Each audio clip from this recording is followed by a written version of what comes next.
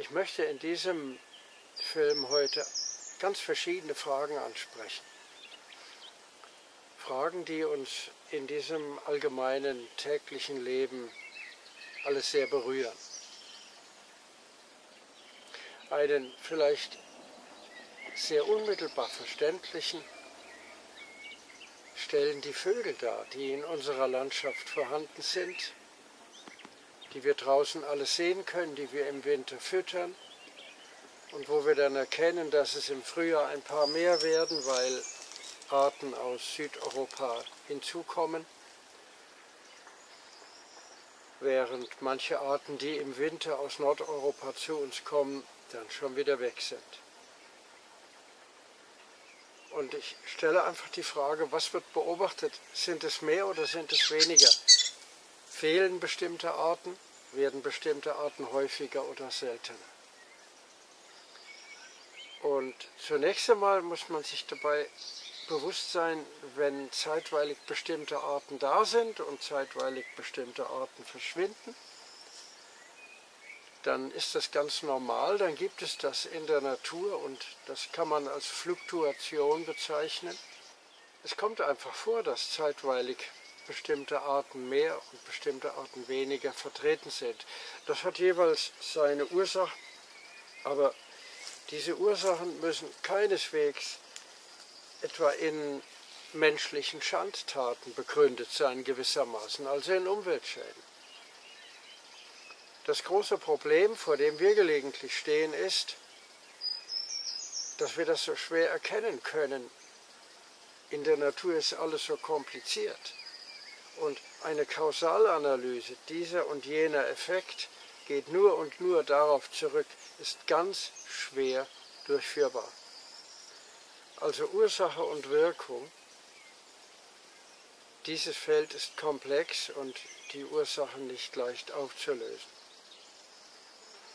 Vor einiger Zeit hatte ich Gelegenheit, mir die Biografie von Rachel Carson anzugucken. Und da gibt es dann gleich eine Reihe von Filmen, die man anschauen kann. Das hat mich sehr daran erinnert, dass meine Mutter früher mit so einer Flitspritze herumlief. Das war in den 50er Jahren des vergangenen Jahrhunderts.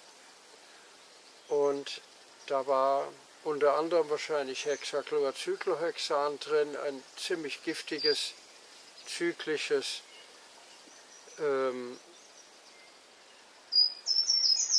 Molekül, das sehr ungesund für Insekten ist. Man hat es auch verwendet, um Menschen einfach als Ganzes zu desinfizieren. Mir wurde gesagt, in Gefangenenlagern und so weiter würde es auch verwendet, um Flöhe und Läuse und so weiter zu bekämpfen. Seitdem die organische Chemie im 19. Jahrhundert um 1865 erfunden wurde, hat die Menschheit seither möglicherweise ein paar Millionen synthetischer Substanzen kennengelernt und viele von uns sind noch immer auf der Woge, dass das alles Fortschritt sei.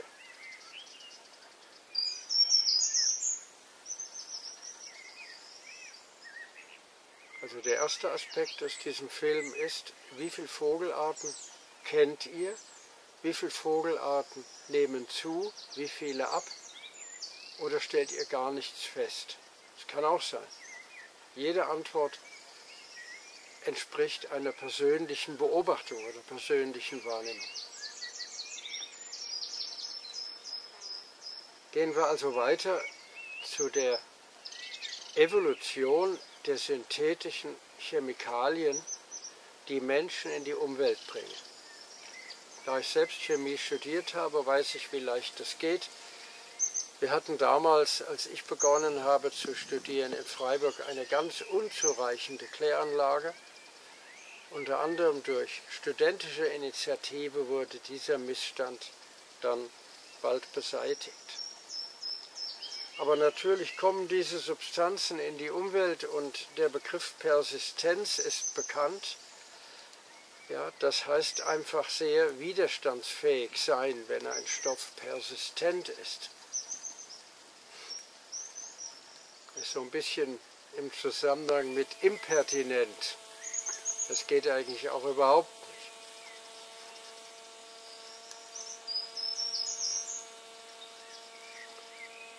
Es wurde dann in den 60er, 70er und 80er Jahren weltweit bekannt, dass diese organischen synthetischen Verbindungen zumindest zum Teil Probleme für den Fortbestand von Tieren bedeuteten, insofern sie etwa bei den Vögeln ähm, verhinderten, dass die ordentlich stabile Eischalen entwickeln konnten, sodass, wenn die Vogelmama sich auf die Eier setzte, die Eier zerbrochen sind.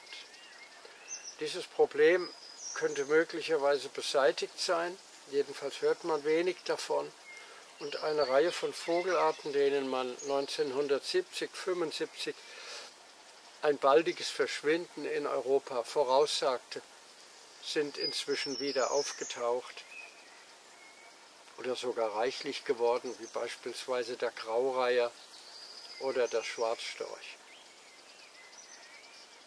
Also Fluktuationen und das ist für uns immer sehr schwer, womit ich hier keineswegs die Dramaturgie der Situation abwiegle. Es ist immer sehr schwer, die Ursachen zu erkennen und schließlich sagen zu können, du oder sie als Firma sind zuständig. Schon in den Anfangsjahren des Umweltschutzes war es für die Skandinavier sehr schwierig nachzuweisen, dass die Ursachen für die Versauerung der Seen in Südskandinavien, die man damals feststellte, von bestimmten Firmen, zum Beispiel in Deutschland oder aus Belgien, aus dem Kohlenpott jeweils dieser Länder, gekommen wären. Das ist jetzt ausnahmsweise mal kein Donner, wir haben gerade aber viel Donner.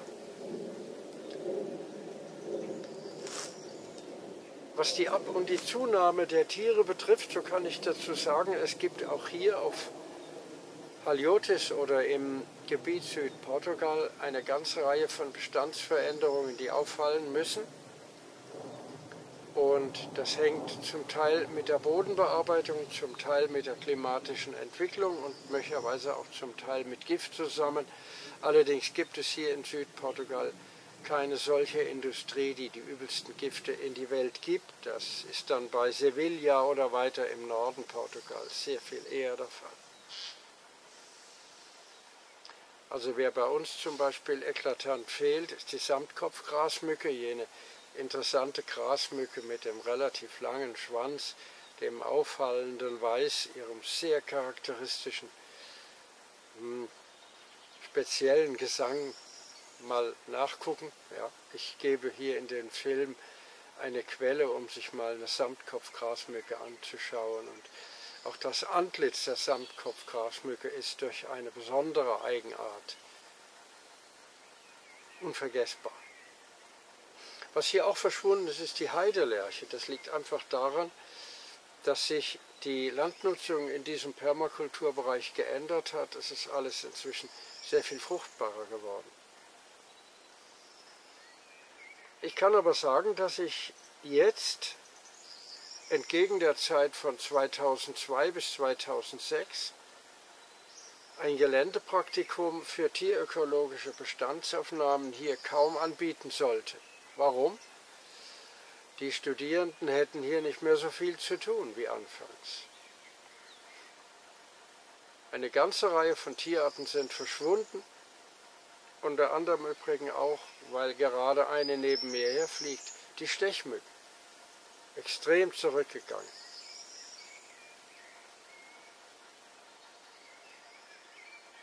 Die Stechmücken und die Knitzen und die Griebelmücken, die hatten wir in den ersten Jahren in großen Mengen. Das heißt, die Feuchtgebiete hier in der Region sind massiv zurückgegangen. Und eine Tendenz, die ich dann bei meinen Fahrten von Deutschland unter anderem nach Portugal, aber auch in andere Länder feststelle. Ich war ja in jüngerer Zeit in Schottland und auch in Schweden. Eine weitere Tendenz ist ganz ernst, dass nämlich meine Windschutzscheiben sauber bleiben. Ich kann tatsächlich 2400 Kilometer durch die Lande fahren, von Seminar zu Seminar oder von Auftragsort zu Auftragsort. Darauf komme ich gleich noch. Und die Scheiben müssen nicht geputzt werden. Wenn meine Eltern früher mit uns Kindern durch die Lande gefahren sind, nach ein bis zwei Stunden war die Scheibe so voll Insektenresten, dass mein Vater sich lautstark geärgert hat, wenn er das reinigen sollte. Und ich habe so etwas in Südungarn noch in den 80er Jahren erlebt.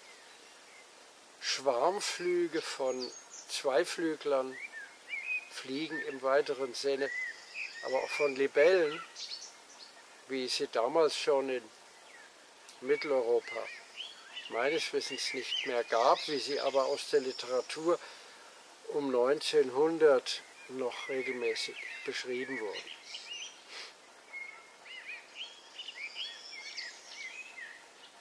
Ob Sie das nun schon an den Vogelarten ihrer Umgebung festmachen können, an den Insekten kann man es, das kann mittlerweile jeder und es gibt einen indikatorischen Satz, der lautet hier dann so, ganz erschreckt, Bernd, hier ist eine Fliege in der Küche. Oder ein lieber Verwandter sagt, oh, da ist eine Wespe. Ja. Wir hatten früher hunderte Honigbienen, Wespen und dann auch manchmal Hornissen auf den Wassermelonen, die hier gegessen wurden. Mittlerweile kann ich die Wassermelone hierher legen, da geht kaum noch jemand hin und holt sich was. Ich möchte hier ausdrücklich sagen, dass ich nicht schwarz male. Ich kann das auch gleich begründen, warum. Ich kann nur einfach feststellen, dass es so ist. Es gibt wenig oder fast nichts davon und davon und davon. Und ich kann das begründen mit Beobachtungen, die wir vor vielen Jahren an der Weser gemacht haben, zwischen 1987 und 90 bis 2000 in der Zeit hatten wir ein großes Erprobungs- und Entwicklungsvorhaben, welches uns erlaubt hat, mehr als zehn Jahre lang kontinuierlich Bestandsaufnahmen durchführen zu können und zugleich eine kleine Menge Landes an der Weser auch in Naturschutz, Landesbesitz zu überführen. Das waren irgendwie sowas wie 60 Hektar.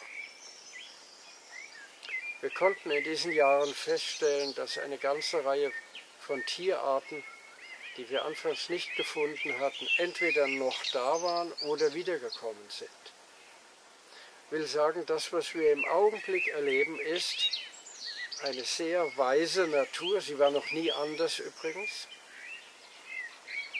In Klammer, weshalb auch Menschen zur Weisheit befähigt sind und dieses Potenzial nutzen sollten. Klammer zu, und diese weise Natur zieht die verschiedenen Lebensformen zeitweilig gewissermaßen aus dem Feuer, nimmt sie zurück, reduziert sie auf Latenz, auf unauffällige Populationsgrößen, lässt sie dort überleben. Und wenn die Bedingungen wieder besser sind, dann kommen sie wieder hervor. Ich bin diesbezüglich sehr optimistisch, wenngleich ich sagen darf, dass mir manchmal in Anbetracht der verschiedenen Entwicklungen in den letzten Jahrzehnten, Klammer auf, Ausrufezeichen, Klammer zu, der Optimismus nicht immer leicht auf der Zunge liegt. Ich kann nur deswegen trotzdem immer wieder sagen, das, was wir einander geben sollen, ist ermutigen. Und damit komme ich auf ein Thema, das in diesen Jahren ganz wichtig ist und von dessen Bedeutung, wie das Rotkehlchen gerade sagt, mir meine Eltern auch mehrfach Mitteilung gaben. Meine Eltern haben sich mehrfach um mich gesorgt. Ich habe dann eines Tages meine Eltern, die sehr lieb zu mir waren, ich bin nie geschlagen worden, sie haben mir beinahe so ähnlich wie es in Eskimo-Familien oder Inuit-Familien gesagt wird, sie haben mir gegeben, was sie konnten. Das war nicht immer zu ihrem eigenen Vorteil. Aber sie haben sich Sorgen gemacht. Und ich habe meinen Eltern eines Tages gesagt, ich möchte eure Sorgen nicht. Bitte, ich bin jetzt groß genug, ich war damals 18, ich bin jetzt groß genug, ich möchte von euch nicht ein, in ein Feld von Sorgen eingehüllt werden, sondern ich möchte, dass ihr mir vermittelt, Bernd, Du hast unser volles Vertrauen. Selbst wenn du Fehler machst, wirst du aus diesen Fehlern lernen und gut oder sogar besser herauskommen. Wir vertrauen in deine Kraft. Meine Eltern haben das nach Kräften versucht und nicht immer fertiggebracht, denn sie waren in einer Zeit aufgewachsen, wo es sozusagen en vogue wurde oder modern, sich Sorgen um andere zu machen. Jean Liedloff beschreibt in verschiedenen Texten über ihre Erfahrungen mit südamerikanischen Naturvölkern, dass die Mütter angesichts von Unfällen ihrer Kinder, die sie sehr lieben, nicht in Panik geraten, keine Sekunde in Panik geraten,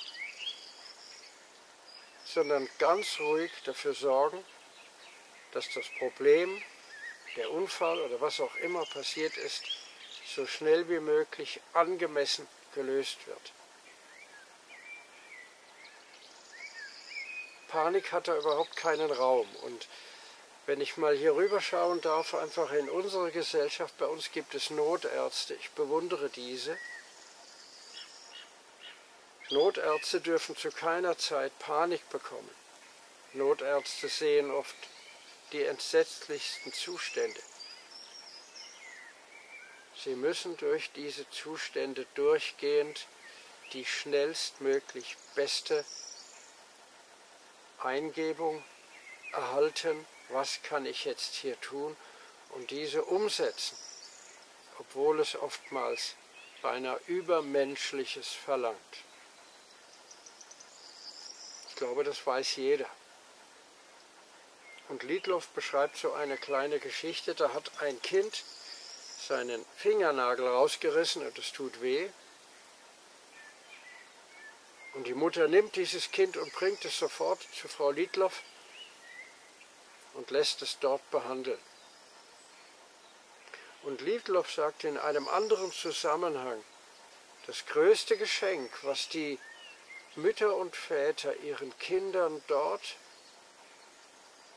geben können, ist das hundertprozentige Vertrauen erstens in sich selbst, Mutter oder Vater, das Richtige zu tun und selbst bei einem Fehler zum Richtigen zu finden und zu wissen, das Kind kommt durch. Das kriegen wir geregelt. Für das Kind ist das ein unschätzbares Geschenk, weil es damit von seinen Bezugspersonen, Vater, Mutter, Onkel, Tante, Bruder, Schwester, vermittelt bekommt, ich habe Vertrauen zu dir. Jeder von uns kennt das.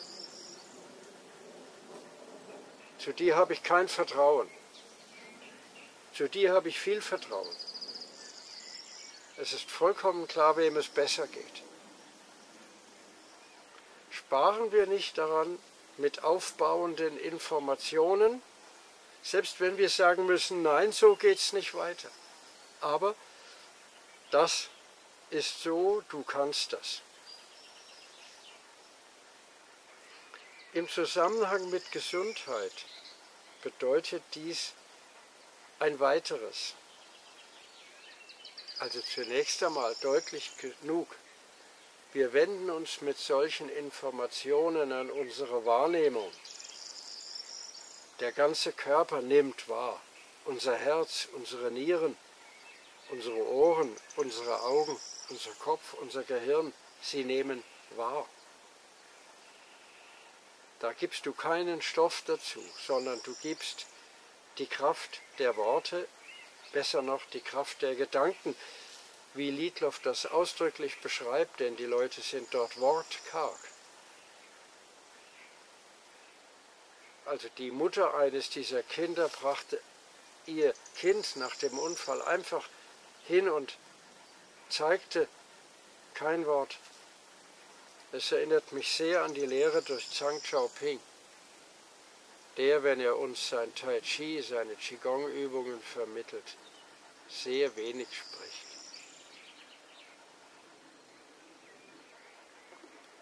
Also das erste und obergeordnete auf dem Wege zur Gesundheit ist die Vermittlung einer geistigen, einer Botschaft in Worten, in liebevollen Blicken oder möglicherweise sogar geschlossenen Augen und Hingabe in der Gestik. Dazu ist es wichtig, dass im Grunde unsere gesamte Gestik, ob es nun über die Muskulatur im Unterarm wäre oder hier im Gesicht, für unser Gegenüber zugänglich ist. Deswegen haben wir vielerorts auf der Erde mit Recht ein ungutes Gefühl bei Vermummung. Denken Sie an die Kuckucksklan-Kleidungen aus den USA oder die Verkleidungen, die manche Schamanen bei Naturvölkern anlegen, um gleichsam in einen anderen Geist, in ein anderes Wesen zu schlüpfen. Der andere Aspekt ist nicht so sehr das Mentale, sondern entweder das unmittelbar Taktile, das Berühren, also beispielsweise das Massieren, sondern auch die Gabe von sogenannter Medizin. Was das im Einzelnen sei, das tut zunächst einmal nichts zur Sache, aber es hat guten Grund anzunehmen, dass Menschen seitdem sie auf der Erde sind, und das schon zu Zeiten der Neandertaler und des Homo erectus, einander in Notzeiten Medizin gegeben haben. Diese Medizin nicht nur in mentalen Botschaften bestand, sondern auch in stofflichen.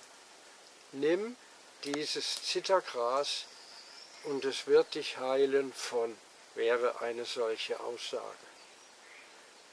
Und die Frage, wie viel wir davon nehmen, ist wiederum eine, die abhängt von dem Medizintyp. Da kann ganz wenig drin sein, da kann gar nichts drin sein, da kann sehr viel drin sein. Es gibt dies alles. Ein ganz grundlegender Satz bei aller Heilung durch Medizin lautet, der Erfolg gibt dem Heilenden Recht. Damit wird nicht festgelegt, was er zu geben habe. Und ich empfehle herzlich, sehr empfindsam zu beobachten, wenn uns etwas vorgeschrieben werden soll, irgendein Onkel kommt und sagt, das musst du nehmen. Nein, so geht's nicht. Es ist entscheidend, dass der oder die Heilende die Hoheit bekommt, ich gebe dir das jetzt. Und wie mir mal ein Arzt, dem ich sehr viel verdanke, Dr. Heiner Steinrücken, sagte, ich sagte meinen Patienten oft, so hat er mir berichtet, ich habe sie nicht geheilt. Sie haben sich geheilt. Ich kann zu ihrer Heilung nicht viel tun aber so ein klein wenig. Ich kann die Schwelle, dass sie ihre Heilung annehmen. Ich kann die Schwelle reduzieren. Ich kann wie ein Katalysator wirken.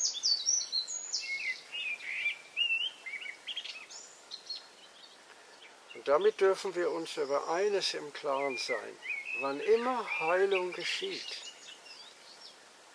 ganz egal was wir nehmen, ob uns jemand sagt, du musst ein Stück von diesem Hut nehmen, der wird dir helfen, oder du musst äh, Aristolochia nehmen oder Eichenblätter oder du musst irgendeine Substanz wie Ivermectin oder irgend so etwas nehmen. Letztlich, wenn wirklich Heilung eintritt und nicht nur Symptombekämpfung, dann wird der Körper und Geist, diese Einheit, die auch hier vor euch sitzt, sich selbst heilen.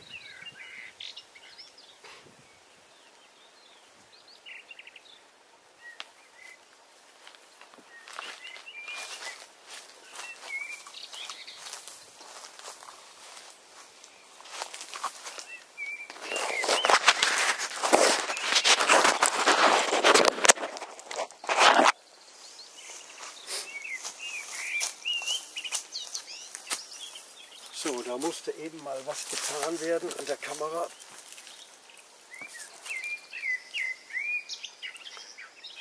Das Körper-Geist-Gefüge, das jeder Mensch ist, heilt sich selbst, wenn bestimmte Glaubensmuster verschwunden und andere wirklich heilwirksame Glaubensmuster zur Wirkung kommen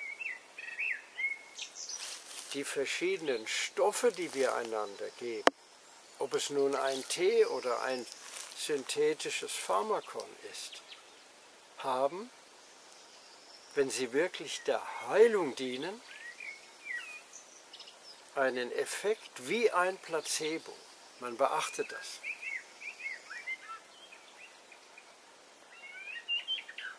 Und ich sage das immer im Bewusstsein der Tatsache, dass ich mich irren kann. Was bleibt dann davon, wenn ich nicht sagen kann, dass das hundertprozentig so ist? Erstens, ich bin davon hundertprozentig überzeugt aus meinen Erfahrungen. Zweitens, ihr begegnet mir, anderen Mitmenschen, nehmt deren Überzeugungen auf und gewinnt daraus eure eigenen. Und drittens werden wir alle mit der Entwicklungsgeschichte des Lebens auf der Erde, wozu auch die Entwicklungsgeschichte unseres Wahrnehmungsbewusstseins gehört, immer klarer und erkenntnisreicher.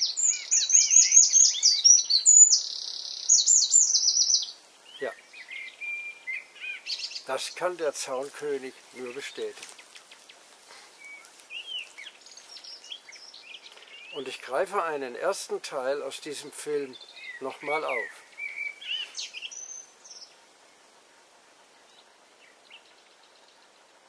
Ich will darauf hinaus, dass es des Glaubens bedarf. Nicht irgendeines im Sinne einer Religion oder eines Vereines oder so, es bedarf des Glaubens aus tiefem Wissen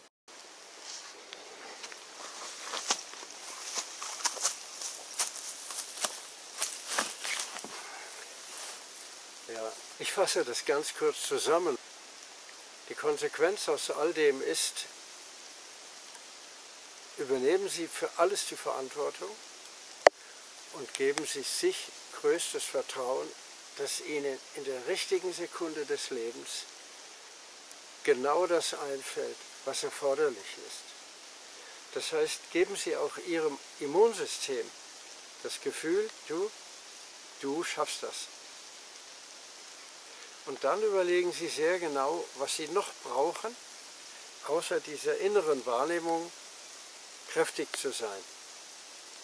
Und wenn Sie dann merken, dass Sie beispielsweise zu wenig Licht haben, Vitamin D3 ein Problem sein konnte, dann supplementieren Sie Vitamin D3 und so weiter.